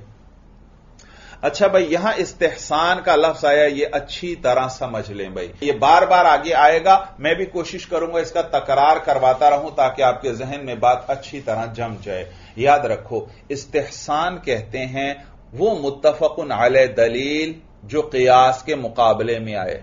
चाहे कुरान हो चाहे हदीस हो चाहे इजमा हो। तवज्जो है? वो मुतफकुन आल दलील जो किसके मुकाबले में आए? कयास के मुकाबले में आए यानी दूसरी तरफ़ कयास भी मौजूद हो। तो ये जो मुतफकुन आल दलील है चाहे कुरान है यानी कुरान की कोई आयत है या कोई हदीस है या इजमा उम्मत है इनको इस्तेहसान कहेंगे। भाई आप मुझे बताइए एक तरफ़ आयत के अंदर एक बात है और कयास दूसरी बात का तकाजा कर रहा है आप किस पर अमल करेंगे? आयत पर अमल करेंगे तो ये आयत ये तो मुतफकुन आल दलील है। तो ये मुतफकुन आल दलील जिसके मुकाबले में कयास मौजूद हो इस मुतफकुन आल दलील को इस्तेहसान कहते हैं। तो आप आयत पर अमल कर रहे हैं आपसे पूछें आपकी दलील क्या है आप कहेंगे मेरी दलील इस्तेहसान है। या आप हदीस पेश करते हैं अब एक तरफ़ कयास है और एक तरफ़ हदीस है तो ज़ाहिर सी बात है हदीस पर अमल किया जाएगा। तो ये जो हदीस है इसको इस्तेहसान कहा जाएगा। या एक तरफ़ कयास है और एक तरफ़ इजमा उम्मत है भाई। तो इजमा जो है, उसको इस्तेहसान कहेंगे। बात समझ में आ गई? तो इस्तेहसान किसे कहते हैं? वो मुतफकुन आल दलील, जो जिसके मुकाबले में कयास मौजूद हो तो वो मुतफकुन आल दलील, चाहे कुरान हो, उसको इस्तेहसान कहेंगे। या हदीस हो, उसको भी इस्तेहसान कहेंगे। या इजमा हो, उसको भी इस्तेहसान कहेंगे भाई। लेकिन याद रखो, ज़्यादातर जो इस्तेहसान है, वो कयास खफी के लिए इस्तेमाल होता है। किसके लिए? कयास खफी। याद रखो, कयास दो किस्म पर है, एक कयास जली और एक कयास खफी। कयास जली वो है, जली का माना ज़ाहिर। यानी जो बात ज़ाहिर हो, अकल फ़ौरन वहाँ तक पहुँच जाए, कि ऐसा होना चाहिए। तो इसको कयास जली कहते हैं। और कयास खफी, वो भी अकली दलील होती है। अकल हमें बतलाती है, लेकिन वहाँ जरा गौर ज़्यादा करना पड़ता है। बात जरा गहरी होती है, बात जरा पोशीदा होती है। तो कयास दो किस्म पर, या कयास जली होगा, या कयास खफी होगा। अगर मसलन अकली दलील है, बात बिल्कुल ज़ाहिर है तो उसको कयास जली कहेंगे। और अगर जरा गहरी बात है, गौर व फ़िक्र करना पड़ता है, फिर ही दिमाग वहाँ तक पहुँचता है तो इसको कयास खफी कहते हैं। तो याद रखो इस्तेहसान मुतफ़न आल दलील को कहते हैं लेकिन ज़्यादातर इस्तेहसान का इतलाक कयास खफी पर होता है। यानी जो गहरा कयास हो। लेकिन कयास खफी को भी इस्तेहसान तब कहेंगे जब उसके मुकाबले में कयास जली हो। अगर इस कयास खफी के मुकाबले में कयास जली मौजूद नहीं है तो फिर जितना मर्ज़ी गहरा कयास हो उसको कयास ही कहेंगे उसको इस्तेहसान नहीं कहेंगे। तो कयास खफी को भी कब इस्तेहसान कहेंगे, जब उसके मुकाबले में कयास जली मौजूद हो। अगर कयास जली उसके मुकाबले में नहीं तो फिर जितना मर्ज़ी गहरा कयास हो, उसको कयास ही कहेंगे, इस्तेहसान नहीं कहेंगे। और याद रखो याद रखो, ये जो इस्तेहसान है, ये पसंदीदा होता है। इसी पर हमेशा फतवा होता है। चुनाचे उलमा फरमाते हैं कि सिर्फ़ 20-22 मसाइल ऐसे हैं जहाँ कयास पर फतवा है। बाकी हर जगह इस्तेहसान पर फतवा होता है। सिर्फ़ बीस बाईस मकाम हैं जहाँ कयास जली पर फतवा है, वरना हर जगह इस्तेहसान पर फतवा होता है। और इस्तेहसान को इस्तेहसान इसलिए कहते हैं कि यह पसंदीदा होता है। मुस्तहसन का माना है पसंदीदा। तो यह इस्तेहसान पसंदीदा होता है। वजह यह कि इसमें लोगों के लिए आसानी होती है। इस्तेहसान में लोगों के लिए आसानी होती है। और ज़ाहिर सी बात है, जिस चीज़ में लोगों के लिए आसानी हो, वो पसंदीदा है भाई। मसलन, कुएँ का मसला आपने पढ़ा होगा कि अगर जंगल के अंदर कुआँ है और उसकी कोई मुंडेर वगैरह नहीं है और उसमें दो चार मेंगनियाँ अगर गिर गई तो फिर वो पानी नजस नहीं होगा भाई। वो पानी नजस नहीं होगा। और कियास तो यह तकाजा करता है कि मैंगनिया तो नजस है। नजासत पानी में थोड़ी सी भी गिर जाए, पानी क्या हो जाता है? नजस तो पानी को नजस करार देना चाहिए। लेकिन यहाँ इस्तेहसान पर अमल किया गया और इस पानी को भी पाक करार दिया गया। और मुझे बताइए किसमें आसानी है? पानी को नजस करार देने में इन लोगों के लिए आसानी है या पानी को पाक करार देने में? पाक करार। देने में तो इसलिए इसको इस्तेहसान कहा जाएगा। बात समझ में आ गए तो वहाँ जरा गहरी दलील होगी लेकिन उसमें लोगों के लिए आसानी है तो उसको इस्तेहसान कहेंगे भाई। तो यहाँ पर भी देखो इमाम साहब की दलील क्या थी? कि इस विलायत की बुनियाद शफकत पर है और यह शफकत जो है जवील अरहाम में भी पाई जाती है, लिहाजा उनको भी इख्तियार होना चाहिए। और साहिबैन क्या फरमाते हैं कि यह विलायत सिर्फ़ असाबाद के सुपुर्द है, इसलिए क्योंकि इस विलायत का मकसद खानदान को गैर कुफ्स की तरफ़ निस्बत करने से बचाना है भाई। और यह काम असाबात ही करते हैं और कोई नहीं करता। लिहाजा यह असाबात के सुपुर्द होनी चाहिए। तो देखो, कियास तो साहिबैन की तायद कर रहा है, लेकिन उसके मुकाबले में कियास खफी इमाम साहब की तायद कर रहा है और कयास खफी को तरजीह दी गई कि इसके अंदर लोगों के लिए आसानी है और पसंदीदा है तो यह इस्तेहसान है। तो देखो, कयास खफी को भी इस्तेहसान तब कहा गया जबकि इसके मुकाबले में कयास जली मौजूद है। बात समझ में आ गई। आगे देखिए, वमन ला वली लहा यानिल असबत मिन जिहतिल कराबती इदा जहा मौला हल्लदी आतकहा जाजली अन्नहु आखिरुल यहाँ से यह मसला बयान फरमा रहे हैं साहिब हिदाया कि अगर एक सगीर या सगीरा है और उसके असबात में से कोई एक भी ज़िंदा नहीं, लेकिन मोतिक ज़िंदा है मोतिक क्या है?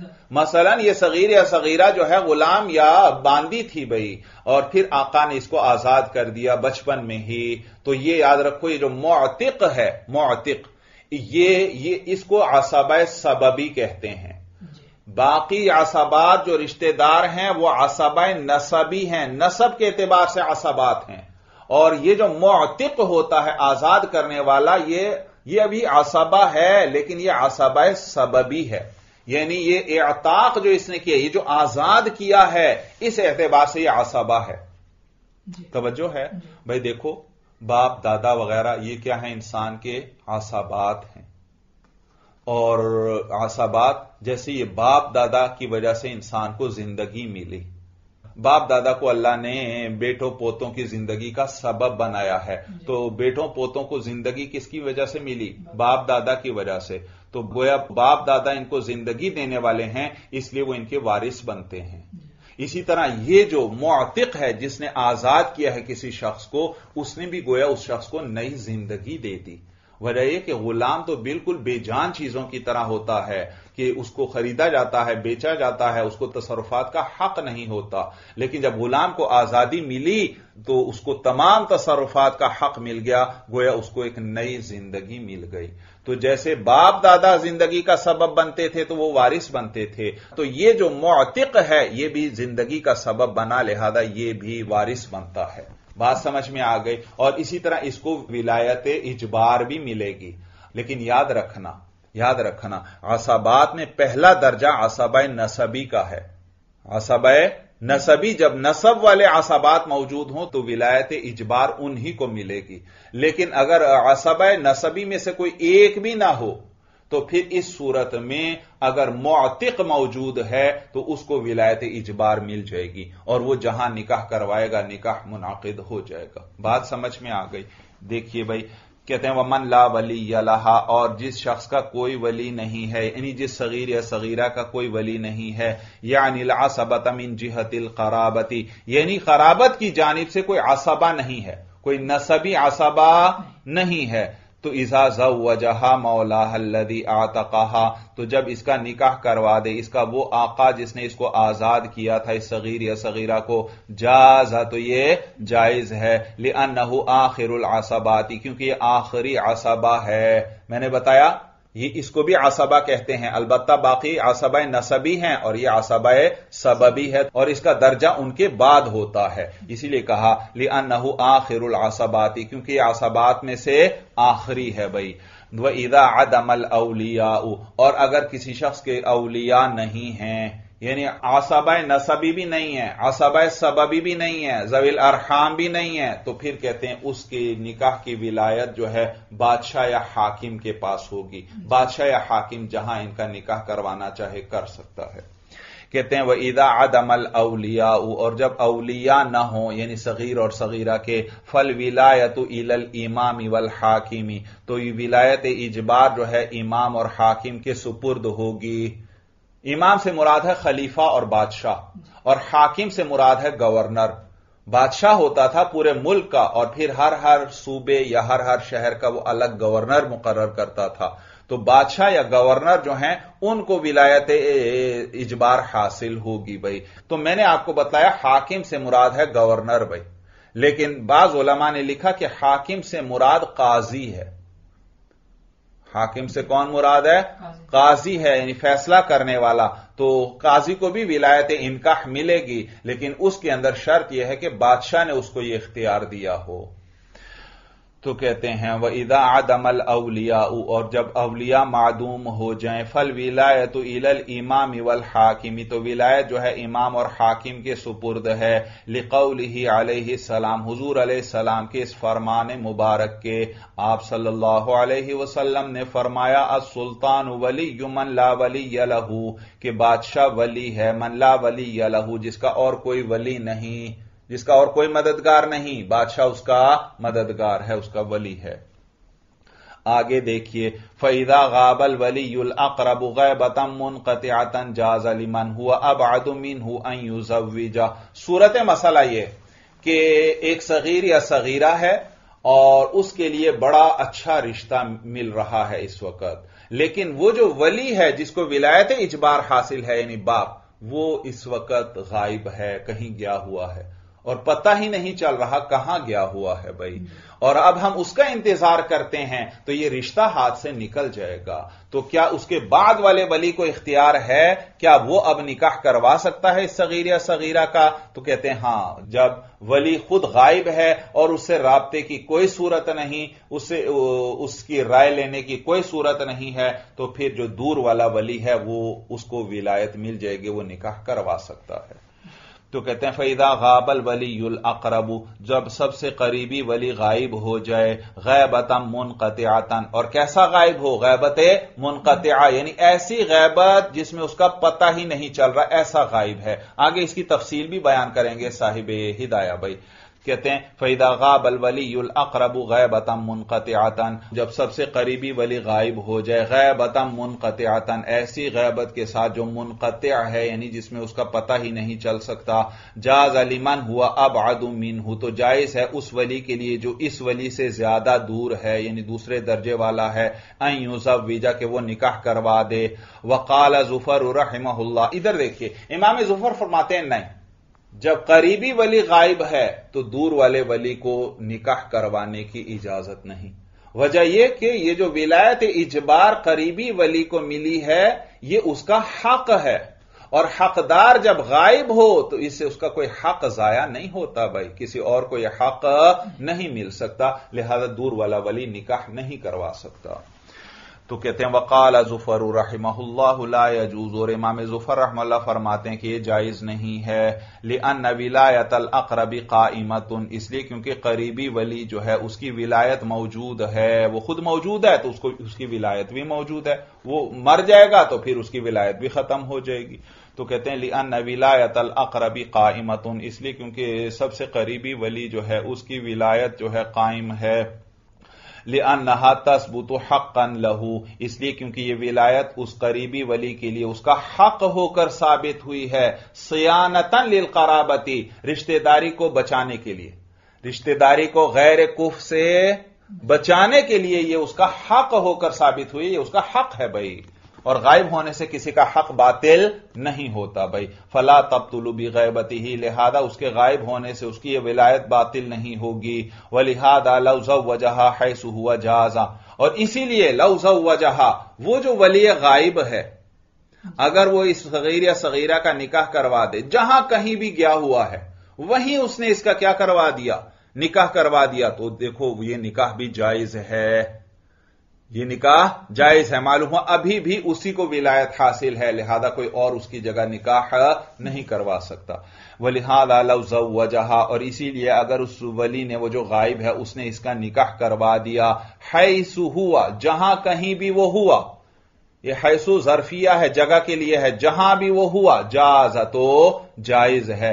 वला विलायत अलिल अबादी मा विलायती ही और दूर वाले के लिए विलायत नहीं होगी। मा विलायती ही, इसकी विलायत के साथ। यानी करीब वाले की विलायत के होते हुए दूर वाले को विलायत हासिल नहीं होगी। व लना और हमारी दलील ये है अनहाद ही विलायतुन नजरियतुन, कि ये जो विलायत इजबार मिली है इस शख्स को, ये विलायतुन नजरियतुन, ये शफकत वाली विलायत है। वलई समिन नजरी तफवीज इला मन ला युनतफ़ी वलई समिन नजरी और ये शफकत में से नहीं है। अतफवीज के सुपुर्द कर दिया जाए। इला इलामन, उस शख्स के लायुन तफाउबिरा यही जिसकी राय से नफा नहीं उठाया जा सकता। भाई देखो ना, वली अकरब तो गायब है। उसका पता ही नहीं चल रहा। और इधर ये रिश्ता हाथ से निकल जाएगा, ये इतना ज़्यादा इंतज़ार नहीं करेंगे। तो तो लिहाजा, हमारी दलील चल रही है। हमने कहा यह जो विलायत इजबार शरीयत ने दी है यह शफकत की वजह से दी है। अब रिश्ता हाथ से निकल रहा है और फिर भी विलायत उसी के पास रहे, जिसकी राय से हम फ़ायदा ही नहीं उठा सकते। किसी काम की नहीं है उसकी राय, क्योंकि वो मौजूद ही नहीं है। तवज्जो है, वो मौजूद नहीं है, उसकी राय का पता ही नहीं चल सकता। तो लिहाजा जिसकी राय से फ़ायदा नहीं उठाया जा सकता, राय को उसके सुपुर्द करना, इसमें कोई शफकत नहीं है। बल्कि शफकत का तकाजा तो यह है कि जो मौजूद है, अब उसको यह विलायत दे दी जाए भाई। यह माना है वलई समीना नजरी, और शफकत में से नहीं है। अब तफवीजू के सुपुर्द कर दिया जाए इस विलायत को। इला मल्ला युनतफ़ा ही उस शख्स के कि जिसकी राय से फ़ायदा नहीं उठाया जा सकता। फफवजनाहु इलल अबादी तो हमने इसको सुपुर्द कर दिया। इलल अबादी, दूर वाले के वह हुआ मुकदम सुल्तानी, और ये दूर वाला जो है, ये बादशाह पर मुकदम है। भाई, याद रखो, ये दरअसल रद्द कर रहे हैं इमाम शाफी रहमुल्ला का। इमाम शाफी रहमुल्ला फरमाते हैं, अगर वली ये अकरब गायब है तो फिर बादशाह को इख्तियार मिल जाएगा, बादशाह और हाकिम को। हम कहते हैं कि ये जो वली अबाद है ये बादशाह पर मुकदम है। हत्या कि वली अकरब जब मरता है तो फिर किसका दर्जा होता है? वली अबाद का दर्जा होता है। बादशाह का दर्जा नहीं होता। मालूम हो ये बादशाह पर मुकदम है, लिहाजा इसको विलायत मिलनी चाहिए। ये माना है वजनाहु इलल आबादी तो हमने ये वली आबाद है, उसके सुपुर्द कर दिया इस इस नज़र को। वह हुआ मुकदम अल सुल्तानी। और हाल यह है कि ये वली आबाद बादशाह पर मुकदम होता है। कमा इदामात अल अकरब। जैसे कि वली अकरब मर जाए तो फिर ये वली आबाद वली होता है। वलौज वजहा हैसु हुआ। अच्छा इमाम जुफर रहमला फरमाते थे कि आप देखते नहीं कि वली आबाद अगरचे गायब है लेकिन फिर भी विलायत उसी के पास है। वो जहाँ कहीं है अगर वहाँ भी निकाह करवा देगा तो निकाह हो जाएगा। तो अब उसका जवाब देने लगे हैं कि वो जहाँ है उसी जगह निकाह करवा देगा तो निकाह हो जाएगा। हम कहते हैं हमें आपकी ये बात तस्लीम नहीं। दो जवाब देंगे एक मनई एक तस्लीमी। पहला जवाब ये हमें आपकी ये बात तस्लीम ही नहीं है कि वली अकरब जहाँ कहीं भी हो वो वहाँ उसका निकाह करवाएगा तो जायज़ हो जाएगा। हमें आपकी ये बात तस्लीम नहीं। और अगर और अगर हम आपकी ये बात तस्लीम कर भी लें, कर भी लें तो ज़्यादा से ज़्यादा हम ये कहेंगे कि अब वली अकरब और वली अबाद दोनों बराबर हो चुके हैं। तो इधर वली अबाद करवा देगा तो इधर भी निकाह मुनाकिद हो जाएगा। और उधर अगर वली अकरब ने जहाँ कहीं है, वहीं उसने निकाह करवा दिया है तो वो भी मुनाकिद हो जाएगा। तो फिर एतबार किसका ज़ाहिर सी बात है जिसने पहले करवाया है। जिसने पहले तो मालूम हो उस अकरब को भी विलायत है और इस अबाद को भी विलायत है। बात समझ में आई? फिर समझो। इमाम जुफर फरमाते थे कि वली अकरब को जो विलायत मिली है, ये उसका हक है, यह उसी का हक है, वो जहाँ कहीं भी हो, ये जहाँ कहीं भी हो, ये इस सगीर या सगीरा का निकाह करवा सकता है। तो जब ये इसका हक है तो वली आबाद को यह हक नहीं मिलेगा। तो उसके दो जवाब दिए। एक तो जवाब मनई और एक तस्लीमी। पहला जवाब मनई, कि हमें आपकी ये बात तस्लीम ही नहीं है कि जहाँ कहीं भी हो यह निकाह करवा सकता है, ऐसा नहीं है। दूसरा जवाब, कि अगर आपकी बात तस्लीम कर ली जाए कि हाँ, ये जहाँ कहीं भी हो निकाह करवा सकता है तो भी हम कहते हैं कि अब वली अबाद भी इसके बराबर का हो चुका है। ये भी निकाह करवाएगा तो हो जाएगा, और वो भी जहाँ कहीं है निकाह करवाएगा तो हो जाएगा। जिसने करवा दिया पहले वो हो जाएगा। बात समझ में आ गई। तो कहते हैं वलौज वजहा फ़ी ही और अगर निकाह करवा दिया वली अकरब ने है हुआ फ़ी ही जिस जगह में भी वो हुआ मुनिया तो ये बात ममनु है हमें तस्लीम नहीं नहीं है कि ऐसा नहीं है। वह बाद तस्लीमी और अगर हम ये तस्लीम भी कर लें तो हम कहते हैं वह बाद तस्लीमी नकूल और तस्लीम करने के बाद हम कहते हैं लिल अब आदि बोदुल कराबती व कुर्ब तदबीरी वलिल अकरबी अक्सू मैंने बताया भाई मैंने बताया कि जब वली अकरब गैबत मुनकतिया के साथ गायब है और इधर रिश्ता हाथ से निकल रहा है तो वली अकरब और वली अबाद बराबर हो गए। वो बराबर किस तरह हुए, वो साहिब हिदाया अब बयान करेंगे। कहते हैं, देखो वली अकरब, उसका रिश्तेदारी में कुर्ब है और अबद का रिश्तेदारी में बौद है। तो अकरब का दर्जा आला अबद का दर्जा उससे कम। लेकिन दूसरी तरफ़ हम देखें तो अबद की राय से हम इस वक्त फ़ायदा उठा सकते हैं।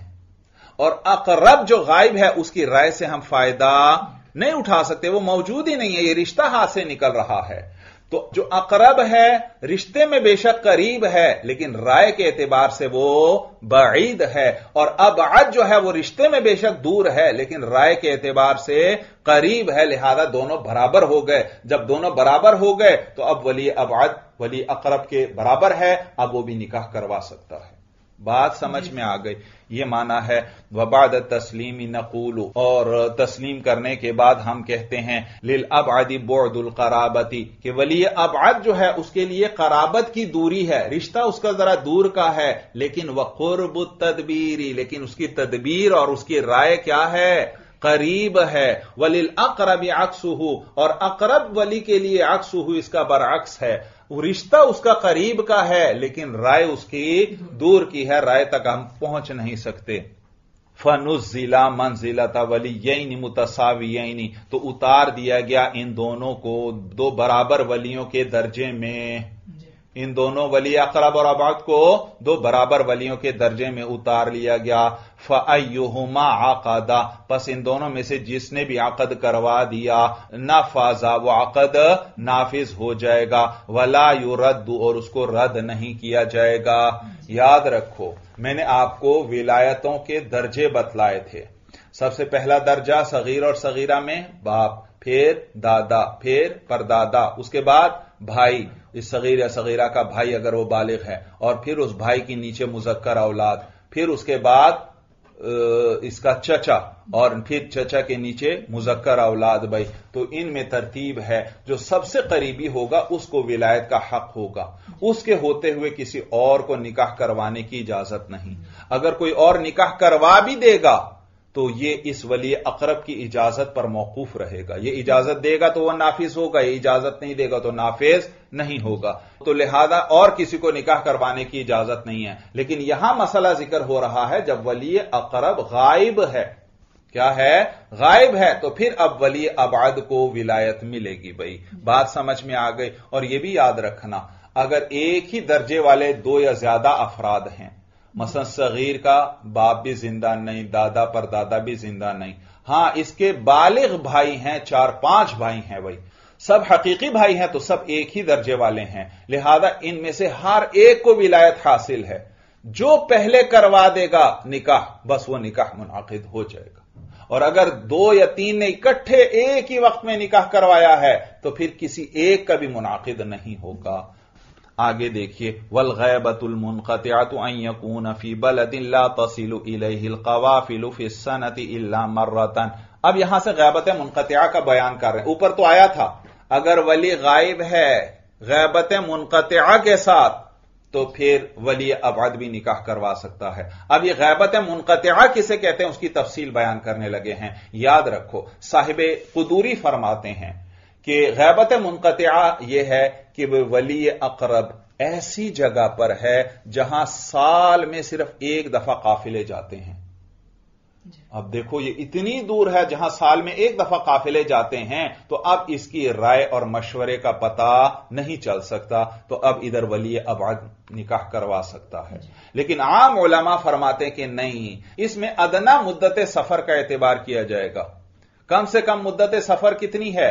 तीन दिन। अगर वली अकरब तीन दिन की मसाफत पर या इससे ज़्यादा है तो बस इधर रिश्ता हाथ से निकलने का खतरा है तो वली अबाद निकाह करवा सकता है। जबकि बाज उलमा ने लिखा कि गैबत मुनकतिया यह है कि वली ऐसा गायब है कि हम उसकी राय का इंतज़ार करें तो कुफ हाथ से निकल जाएगा। बेशक उसी शहर के अंदर ही क्यों ना हो। उसी शहर में है, लेकिन वो शहर में कभी चला जाता है।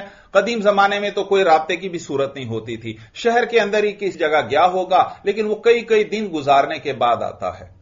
तो अब शहर के अंदर बेशक गायब है, लेकिन इधर रिश्ता हाथ से निकल रहा है। वो एक, दो या तीन दिन तक तो इंतज़ार करेंगे, इससे ज़्यादा इंतज़ार नहीं करेंगे। तो फिर हम इतना इंतज़ार कर लेंगे, और फिर जब उस वक्त तक उसका पता नहीं चला तो फिर बली आबाद ही निकाह करवा देगा। बात समझ में आ गई।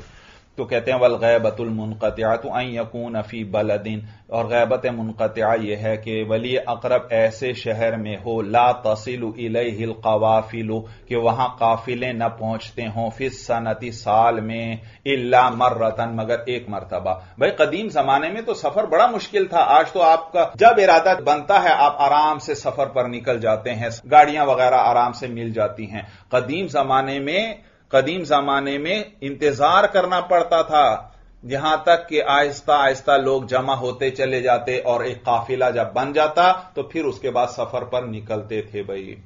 तो कहते हैं कि गैबत मुनक़तिया यह है कि वो वली अकरब ऐसे शहर में हो, जहाँ साल में काफिले सिर्फ़ एक ही मरतबा पहुँचते हैं, वह अख्तियार उलकदूरी और ये साहिब कदूरी का इख्तियार है। ये गैबत मुनक़तिया की तारीफ़ किसने की? साहिब कुदूरी ने, साहिब हिदाया फरमा रहे हैं। वकील, और कहा गया है, अदना मुद्दत सफरी, कि सफ़र की कम से कम जो मुद्दत है, वो है गैबत मुनक़तिया यानी कम अज कम तीन दिन के मुसाफत पर हो, वली अकरब। ले अनहुल्ला निहायत अली अकसाहू इसलिए क्योंकि ज़्यादा से ज़्यादा सफ़र की तो कोई इंतहा नहीं है। तो आखिरी हद की इंतहा जब नहीं है तो अदना हद का एतबार करेंगे भाई। ले अनहुला निहायत अकसाहू इसलिए क्योंकि सफ़र की जो आखिरी हद है, उसकी तो कोई इंतहा नहीं है। वह वख्तियार बाजिल मुताखरीना और यह इख्तियार है बाज मुताखरीन का। उन्होंने इस कौल को इख्तियार किया कि यह है गैबत मुनक़तिया वकील, और कहा गया है इदा काना बिहालिन। कि गैबत मुनक़तिया यह है कि जब वली अकरब ऐसी हालत पर हो, यफूतुल कुफ कि कुफ फौत हो जाएगा, यानी हाथ से निकल जाएगा बिस्तला ही उसकी राय का पता चलाने में। वली अकरब ऐसे हाल पर हो कि अगर हम उसकी राय की जुस्तजू और कोशिश शुरू करें तो इतनी देर में ये कुफ जो है, ये हाथ से निकल जाएगा। तो ये गैबत मुनक़तिया है। तो कहते हैं, वकील और कहा गया है इदा कान बिहाल जब वली अकरब ऐसी हालत पर हो कि यफूतुल कुफ उब ही कि उसकी राय का पता चलाने में कुफ फौत हो जाता है। वहादा अकरब इल फिक साहिब हिदाया फरमा रहे हैं कि यह आखिरी कौल जो है यह फ़िका के ज़्यादा करीब है। यानी फ़िक ही उसूलों के ज़्यादा करीब है। किसके? फिक उसूलों के ज़्यादा करीब है। ले लिअन्नहुल्ला नजरफी इबका विलायत ही है ना इजिन। इसलिए क्योंकि फिर कोई शफकत नहीं है उसकी विलायत को बाकी रखने में। यह विलायत किस लिए दी गई थी? शफकत की वजह से। और अब इधर कुफ हाथ से निकल रहा है। तो अब भी यह विलायत उस वली अकरब को जो गायब है, उसी को देने में कोई शफकत नहीं है। लिहाजा अब यह विलायत वली अबाद को मिल जाएगी।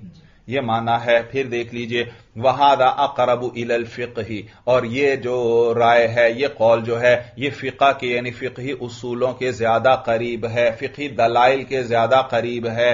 ला नजरफी इबका विलायती ही हीन इजिन। इसलिए क्योंकि फिर उस वक़्त जब कुफ फौत हो रहा है तो उस वक़्त फिर उस वली अकरब की विलायत को बाकी रखने में कोई शफकत नहीं है। बात समझ में आ गई। आगे देखिए व ईजा जता माफिल मजनू नती अबू हा वबनुहा भाई सूरत मसला ये एक मजनूना है और उसका बेटा भी मौजूद है और बालिग बेटा और बाप भी मौजूद है। तो अब किसको विलायत इजबार हासिल होगी?